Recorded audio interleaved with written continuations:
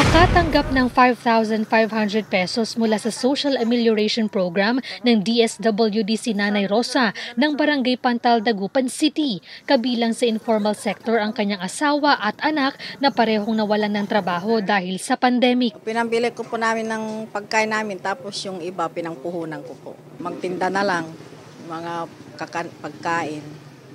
Tsaka nag-iihaw-ihaw po ako. Pero si Janine na nawalan ng trabaho bilang sales lady, hindi nabigyan ng ayuda. Wala pa raw kasi siyang anak kahit na may kinakasama. Walang-wala na po talaga kami. Kaya lumipat po kami dito sa Pandal para makapagnegosyo po. Para ano, may pangbayad po kami sa ilaw tsaka sa tubig.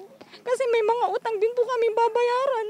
Ayon sa Department of Social Welfare and Development Office Region 1, higit 400,000 na pamilya ang nabigyan ng ayuda mula sa unang batch ng Social Amelioration Program sa Pangasinan at sa second tranche ng SAP distribution, mabibigyan muli ang mga pamilyang ito kabilang na ang higit 40,000 na pamilya na hindi nakatanggap pero kwalipikado batay sa ginawa nilang post-payout validation. Paliwanag pa ng DSWD, tanging ang probinsya ng Pangasinan lang sa Region 1 ang may second tranche ng SAP distribution batay na rin sa rekomendasyon ng IATF. meron po tayong tinatawag na deduplication or yung ating cross-matching na um, i-check po yung kanilang mga pangalan para uh, makita po uh, na hindi na po sila talaga nakakuha pa ng ibang ayuda mula sa uh, ibang ahensya at isasubmit po ito sa DSWD Central Office for inter-regional cross-matching naman.